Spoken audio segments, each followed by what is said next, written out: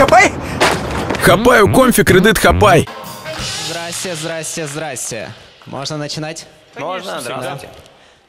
Если верить современной рекламе, то единственные развивающиеся в нашем мире вещи это зубная щетка и прокладки.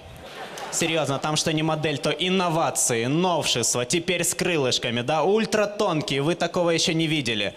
Мне кажется, если бы эти ученые вложили хотя бы немножко сил в другое какое-то русло, мы бы жили в мире как в пятом элементе.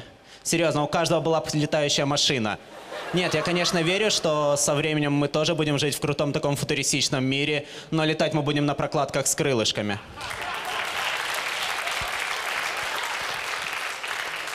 Я в Киев ехал на автобусе, и, знаете, ко мне подсела такая милая, молодая, очаровательная девушка. Да, нет, это был старый прибуханный дед который постоянно засыпал, падал лицом на переднее сиденье на поворотах на меня. Мне приходилось его поднимать, и это тяжело. Он очень-очень много весит, я не справлялся. Не смотрите на меня так, я не слабак. В конце концов, наше государство с трудом поднимает пенсионеров. Куда мне?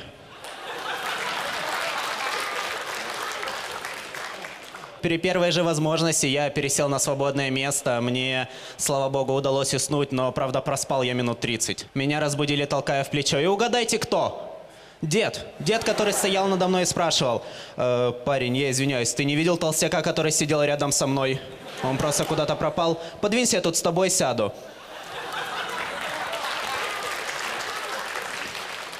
Не подумайте, я нормально отношусь к пожилым людям, честно. У меня есть дед, как ни странно, и я его очень люблю. Правда, он в последнее время загоняется.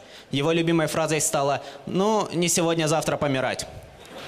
Иногда доходит до крайности. Он подходит к моему младшему брату и такой «Оп, а что это у деда? Твой нос». «Оп, а что у деда на носу? Смерть у деда на носу».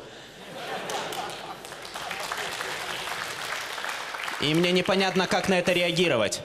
Просто мне кажется, это он говорит только для того, чтобы узнать, где бабушка хранит заначку на похороны.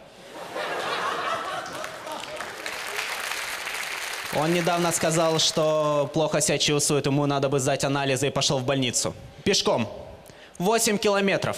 И это в одну сторону. И вернулся с мешком картошки.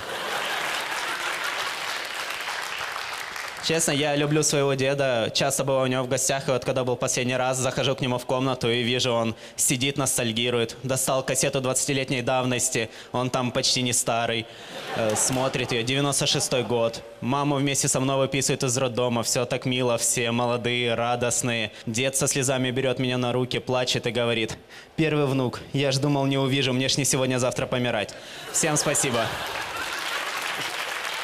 Спасибо большое, Владислав.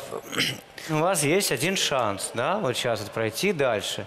А вы выходите и, получается, в половине выступления вы забалтываете ключевые моменты. И это просто как-то сбило все. Вы для меня сейчас не комик на миллион. Ну, вы понимаете, о чем я говорю? Да, я понимаю. Я опять с тобой солидарна.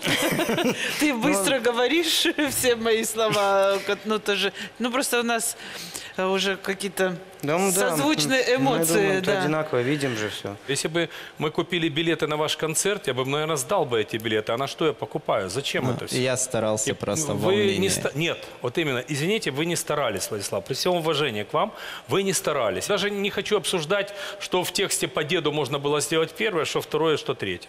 Вы молодой, вы можете прийти через год, мы всегда вас ждем, мое мнение. Спасибо. Спасибо большое. Спасибо.